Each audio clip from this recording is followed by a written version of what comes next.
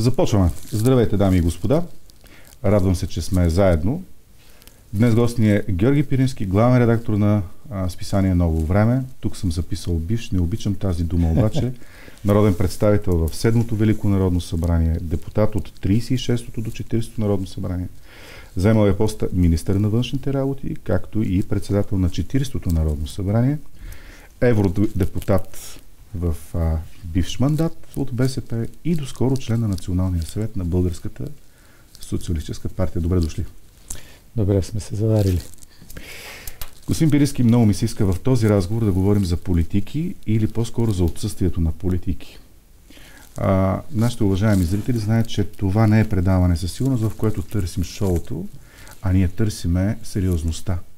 Поради проста причина, че оставам с впечатление, че имаме сериозен дефицит на сериозност и още повече на политики в България. Затова започваме. Защо са важни програмите и предизборните платформи на партиите? Остава по-малко от месец и половина, а не сме свидетели на такива. Имаме отсъствие, което не се, пред... т.е. не се предлагат на хората. Възникват два въпроса, респективно, по тази линия. Защо не виждаме предизборните платформи? Не се ли превръщат изборите в мажоритарни? И второ, чуваме само съобщения от тип заклинания политически, какво искат да направят. Коментара ви. Преди всичко програмите трябва да служат за изясняване на политиката. Точно там, откъдето започнахте. На всяка от политическите сили, mm-hmm. какво всъщност те виждат като действия в рамките на своето виждане как трябва да се развива страната. Това, което днес липсва, не са, бих казал, толкова отделни политики. А е всичко рамката на тези политики. Защото, общия поглед. Защото общия поглед и е, опорната точка, на която е изградена поредицата от политики на дадена политическа сила. И доколкото правим този разговор на 19 февруари, който е ден, в който цялото общество, всеки българин и отдава почет и се замисля глава, да. за това какво всъщност ни е завещал апостола на свободата Васил Левски. Един от акцентите, който струва ми се недостатъчно се оценява, един от приоритетите, който изтъква в и онова, което е писал, е необходимостта да се преодоляват различията между mm. отделните и етноси и хора. Точно така. А, всички работещи и живеещи под един общ закон, както той казва, и българи, и турци, и евреи и прочие, като прави контраста с тогавашната османска действителност, където, както той казва, Вилне е правото на силата. Тоест, не е силата на закона, а обратно, произвола на силния. И съм ви донесъл един брой от списания Ново време от 2017 година, посветен на 180-та годишна от рождението на апостола, в което публикувахме, благодарение на Велислава Дерева, и една нейна статия за разбирането на Левски за републиката, озаглавила го е Републиката на апостола, и което е не по-малко интересно и впечатляващо, един набор от негови текстове, записани от него и в наредата на работниците за освобождението да. на България, и в устава и програмата на БРЦК, които тя е, е съчетала в един текст, който спокойно може да бъде наречен една цялостна конституция. И това е и заглавието на нейния материал. Подбраните от нейни текста е Конституцията на апостола. Защо Конституция? Защото той именно тръгва от целта, от основата, на която ще подреди всичките си, да речем, политики. Да. А тя е именно да се замени е, сегашната, тогавашната деспотско-тиранска система от демократска република, в скоби народно управление, Кога говори той за република? Когато няма републики в... Когато изобщо няма, да. Именно. И е, защо такава цел? Защото е, трябва да се построи храм на истината и правата свобода, както го е записал, в която всички ще бъдат равноправни във всяко едно отношение, в вяра, народност, гражданско отношение, каквото и да било, всички под един общ закон, който по вишегласието на всичките народности ще се избере. Е, страхувате ли се, благодаря, че има, можем да намерим паралели между ситуацията, в която епохата, времето, в което е написал тези думи апостола и настоящата реалност? Бих направил връзка пак с въпроса, който зададахте за политиките и политиката. Защото днес точно това, според мен, ми се струва основата, на която да се градят тези политики. И дълбокото ми убеждение е, че в крайна сметка основата трябва да бъде Конституцията на Република България. Именно този общ основен закон, който трябва да стане не е, един текст, който е едва ли много добре познат, а, напротив, а, онази рамка, в която и партиите, и другите публични организации и личности да търсят конкретните решения как ценностите, нормите на да. Демократичната правова и социална държава могат и трябва да бъдат превърнати в жива действителност, благодарение вече на един набор от политики. И ако се замислим какви собствено, с извинение за собственото, платформи биха имали шанса да привлекат вниманието на хората днес. Аз се съмнявам, че те ще седнат да четат кой какво предлага по здравеопазване, образование, по сектори, да. сектори и т.н. Хората днес искат да видят кой как си представя възможността за съгласие около посока, в която да се развие България, така че да не бъде раздирана от тези различия, които сега, както виждате... Но тя е раздирана. Тя е раздирана. Защо? Защото... Защо наистина? Защото най-малкото е, е забравено онова, което е заложено в Конституцията. Че всички трябва да са подчинени на две изисквания. Запазване на личното достоинство mm-hmm. на отделния гражданин, но и съхраняването и утвърждаването на националното единство.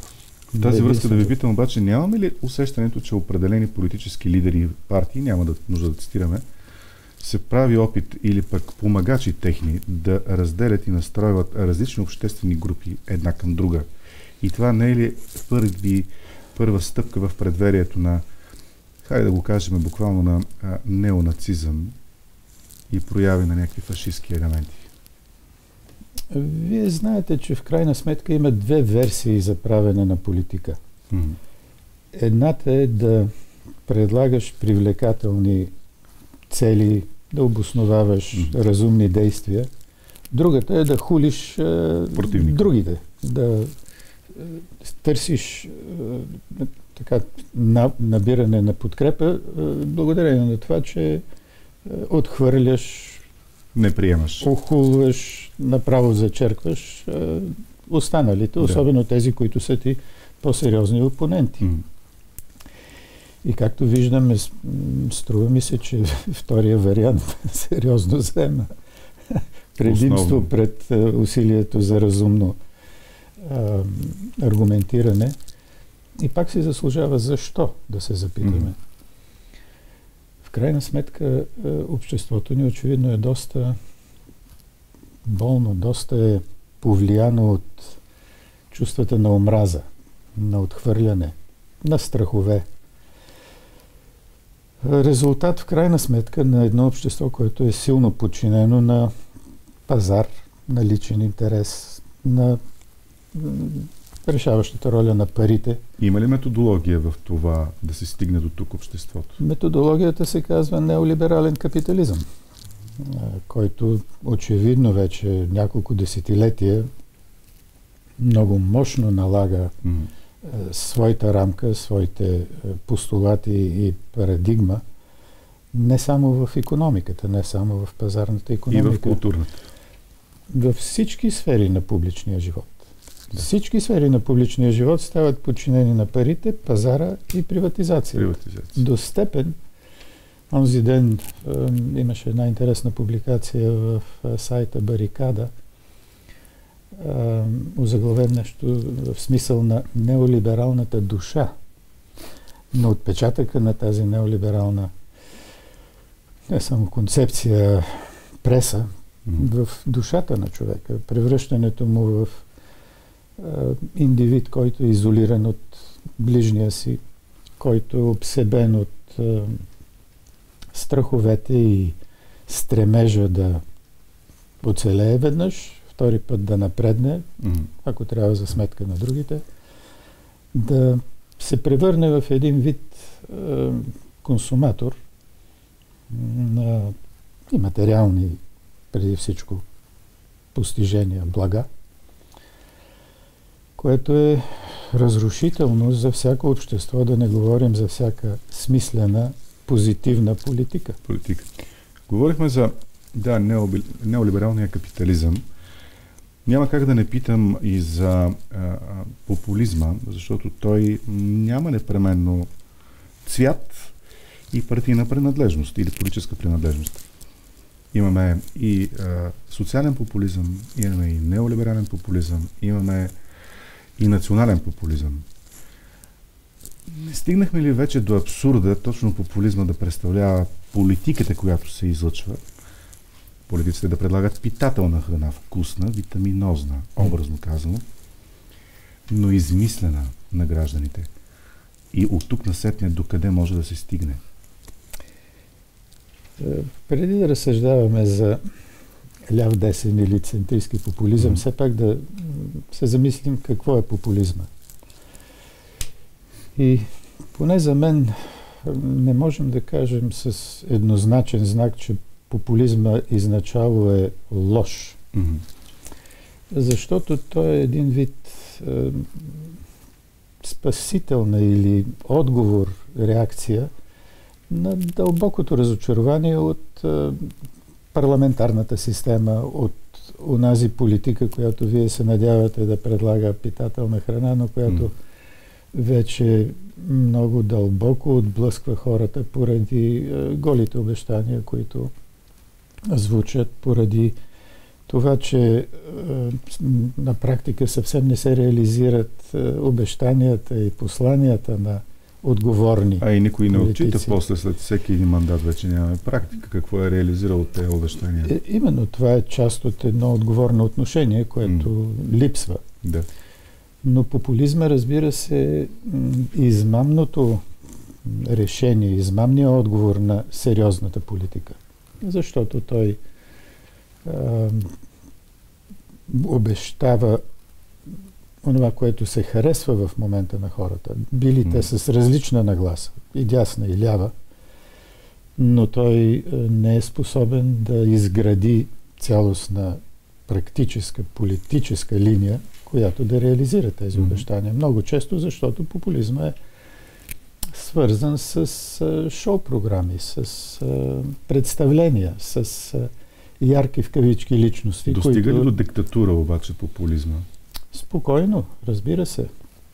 Когато се окаже, че е, е неспособен да осъществи това, което грамогласно е прогласявал, той, разбира се, започва да обосновава необходимостта от е, здрава ръка, от е, по-широки правомощия, с които да реализира. Но събуждането следва в един момент. Имаме осъзнаване и в момента в обществото има такова осъзнаване. Целият въпрос е кога възниква този момент. Понякога той възниква след тежки крушения защото е, може би архетипа на популизма е нацизма mm-hmm. със своя фюрер, който е несравним по силата на внушението и въздействието си върху масите.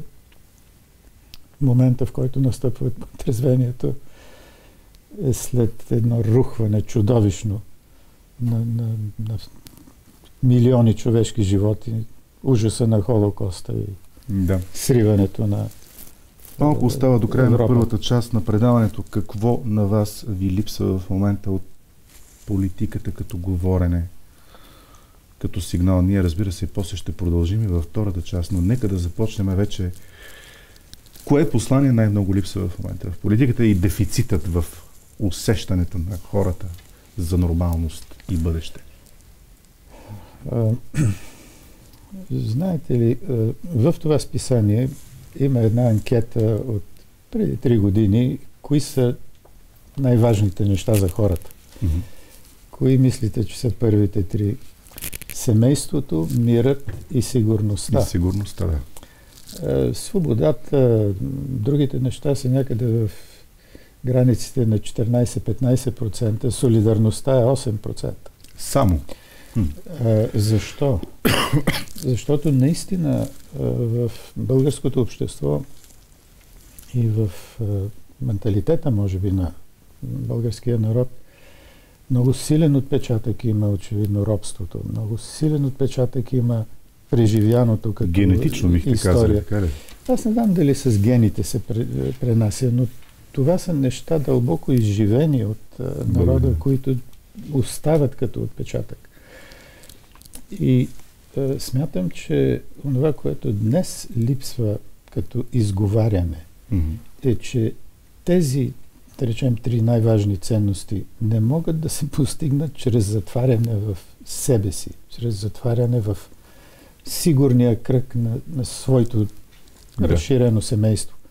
Нужна ни е общата основа, и пак ще повторя, днеска на Конституцията, на общия закон – и политиците би трябвало да не престават да говорят, че и, и тази година е удобен а, случай, защото това да. са 30 години от приемането на Конституцията. Няма да ви питам за опита на, за да не правим хумористично предаване на ГЕРБ да правят нова Конституция. Ама това е показателно, защото да, от една смях, страна се вижда, че нейно, че хората търсят нова опорна точка mm-hmm. и а, това натрупано разочарование от тези три десетилетия беше представено и от леви, а и от много десни, като резултат на тая конституция, която се била родила в мътни времена на тъмен сговор между сини Не, и червени. Не е екзалтирано отрицание, за което говорихме и в самото начало, че търсим някой виновен на фона на настоящите ни неуспехи. Тоест обвинихме много... основния закон, защото не успяхме да се справяме с всички останали